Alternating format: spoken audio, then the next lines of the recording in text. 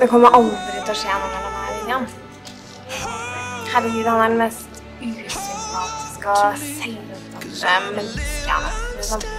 Jeg ville aldri rørt han. Hei, vakre. Du, nå må du gi opp. Gi opp. Jeg kommer ikke til å gi opp.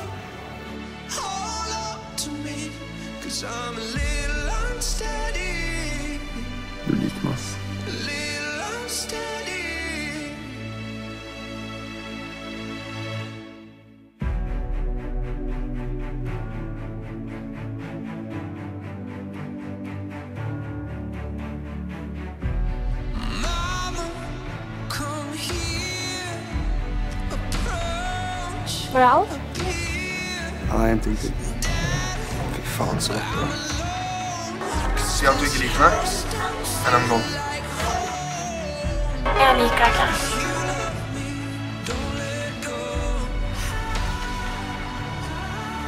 Nei, han sa, han sa at han ikke var forelska i meg.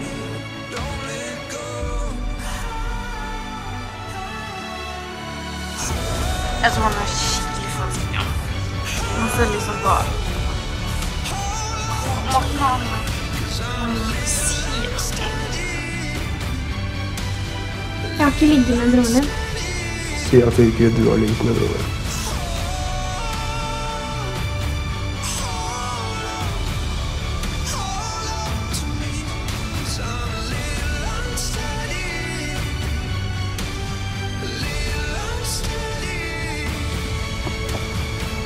Hei.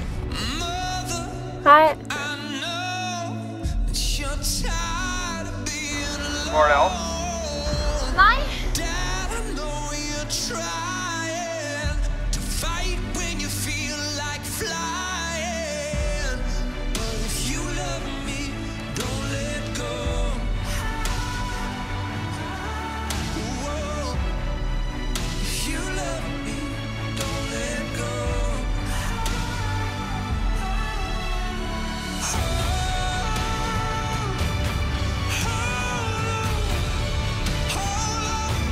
Det er faktisk vanskelig for å tro på, ass.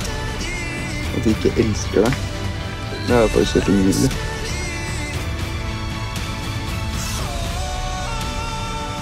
Det er, det er ingenting som føles viktigere for meg enn å være sammen